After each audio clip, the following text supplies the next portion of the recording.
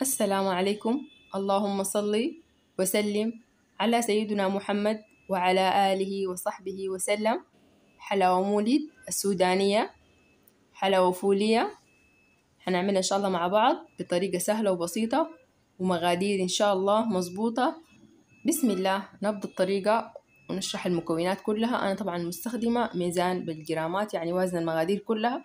بس إذا ما متوفر عندكم الميزان فأنا حديكم مقادير قريبة جدا. عندي مية جرام من الدقيق أو ما يعادل حوالي عشرة ملاعق كبيرة من الدقيق.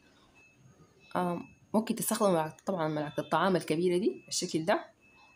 آه هنوزن بها كل المقادير إذا طبعا ما متوفر ميزان الجرامات. عندي ميتين وخمسين جرام من السكر أو هنا أنا آه مستخدمة كمان وزنتها برضو بالفنجال ده. فلقيت إنه تلاتة فناجيل بتاعت قهوة.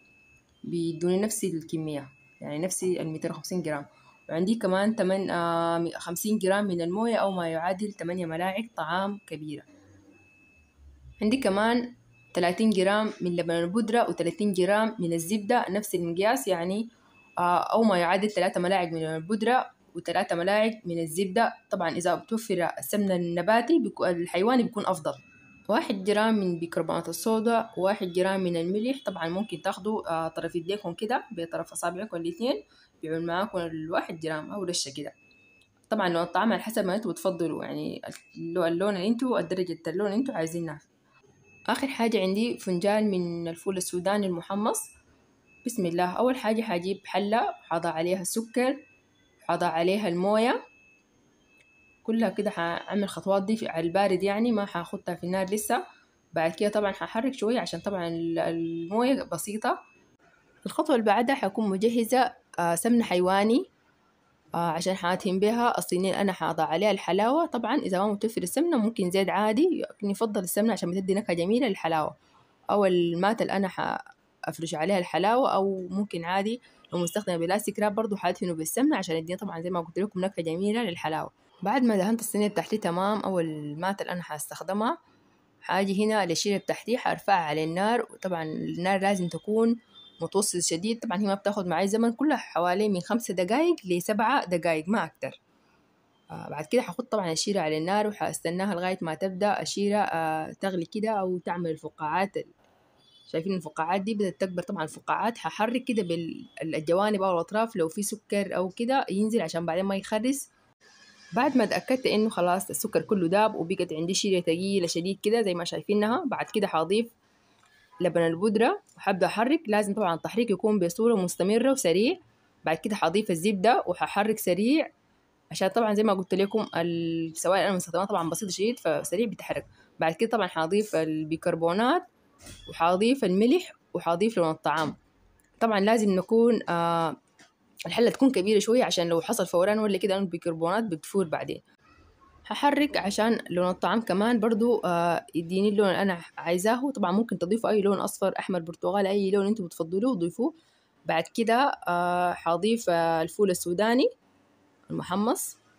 حبدأ كمان أحرك. بعد كده حأضيف الدقيق وحبدأ أحرك. طبعا لازم نحرك زي ما قلت لكم بسرعة وبصورة مستمرة ما حنوقف تحريك تاني بعد كده. لغاية ما الدقيق كله يدوب وكله آه يستوي معي تمام. حوالي دقيقة كده أو أقل بس بيكون الحلاوة بتاعتي بتكون جاهزة. بعد كده طبعا حاجي حاضع على الصينية اللي أنا دهناها زبدة أو المات اللي أنا عايزة أضع عليها الحلاوة. حنزل الحلاوة كلها وحظبط الشكل بتاعي تمام. بعد كده هخلي الحلاوة تبرد شوية كده. يعني ما تبرد يعني زي دقيقة أو ثلاث دقايق كده. بعد كده حاجة أبدأ شنو؟ حاجة أبدأ أقطعها خلوها تبرد شوية عشان تتقطع معانا بشكل جميل. أنا أول طبعا بديت قبل ما بردت يعني ما بردت كويس قطعتها ما قطعت معي بس أهي خليتها بردت شوية. بعد ذلك جيت قطعت طبعا سكين أدهنها بشوية زبدة كده ولازم طبعا السكين تكون حادة. شوية كده تكون حادة يعني. بس قطعت الحلاوة الشكل أنا حباه أو. ممكن عادي برضه تستخدموا مقطعات تقطعوا بيها لو أنتوا حابين. فبعد كده حنجي للحلاوة النوع الثاني هو طبعا نفس الأول الحلاوة ديك ذاتها بس المقادير شوية مختلفة. بس هنا دي بيكون لونها أبيض شوية وحقول لكم هنا بالمقادير العادية من غير جرامات. يعني هي أنا أصلا كلها المقادير مستخدمها بالجرامات. عندي آه ثلاثة فناجيل من السكر وعندي آه عشرة ملاعق كبيرة من الدقيق ملاعق طعام وعندي خمسة ملاعق كبيرة من لبن البودرة وعندي ثلاثة آه ملاعق كبيرة من الزبدة وعندي هنا رشة آه بيكربونات صودا ورشة ملح. بس طبعا زي ما قلت لكم المقادير دي أنا أصلا مستخدماها بالجرامات يعني كلها وزنها بالجرامات.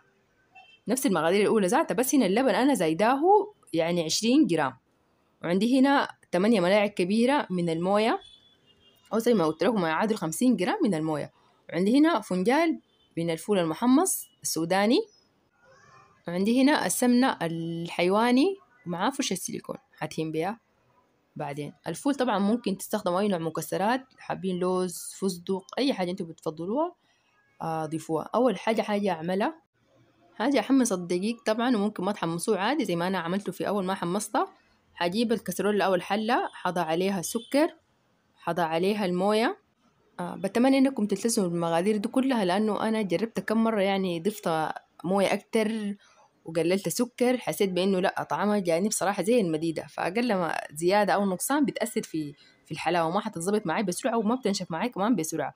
برضو كمان ممكن آه تقللوا اللبن ممكن تعملوا آه هنا ممكن تاخدوا ثلاثة ملاعق لبن ممكن عادي تقللوا كمية اللبن.